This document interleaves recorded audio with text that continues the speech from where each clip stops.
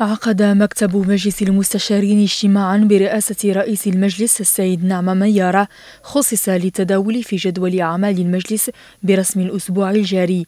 وخلال الاجتماع توقف السادة أعضاء المكتب عند المشاركة النوعية للسيد رئيس مجلس المستشارين والوفد المرافق له في أشغال الجمعية 143 للاتحاد البرلماني الدولي التي احتضنتها مدينة مدريد الإسبانية نهاية شهر نوفمبر المنصرم. وعلى مستوى التشريع أخذ مكتب المجلس علما بإيداع فريق الاتحاد المغربي للشغل لمقترح قانون يقضي بنسخ الفصل 200 288 من مدونة القانون الجنائي وقرر إحالة مقترح القانون المذكور إلى الحكومة والفرق والمجموعات البرلمانية. ثم إلى اللجنة المختصة بعد انصرام الأجل القانوني المنصوص عليه في النظام الداخلي للمجلس. وعلى مستوى الأنشطة الفكرية والإشاعية وفي إطار العلاقة مع المؤسسات الدستورية اتخذ مكتب المجلس قرارا بعقد لقاء دراسي لتقديم ومناقشة تقريرين أعدهما المجلس الاقتصادي والاجتماعي والبيئي